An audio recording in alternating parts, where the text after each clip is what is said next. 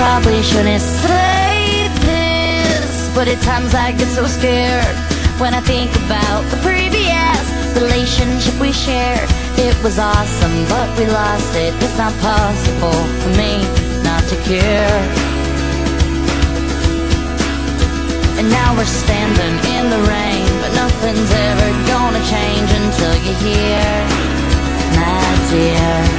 The seven things I hate about you.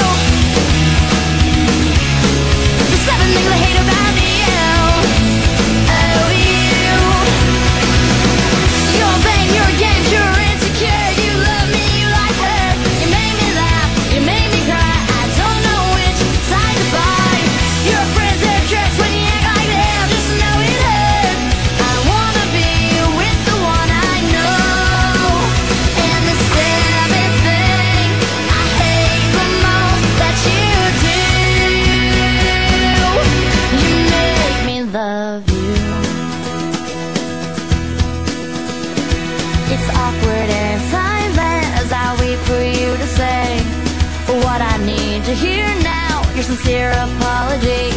When you mean it, I'll believe it. If you text it, I'll delete it. Let's be clear. Oh, I'm not coming back. You're taking seven steps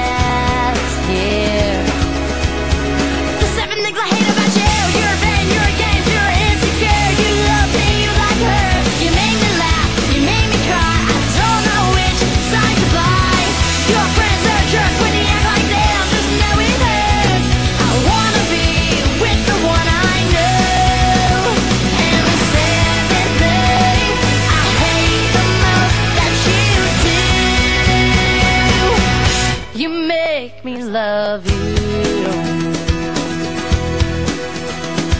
And compared to all the great things that would take too long to write, I probably should mention the seven that I like. The seven things I like about you your hair, your eyes.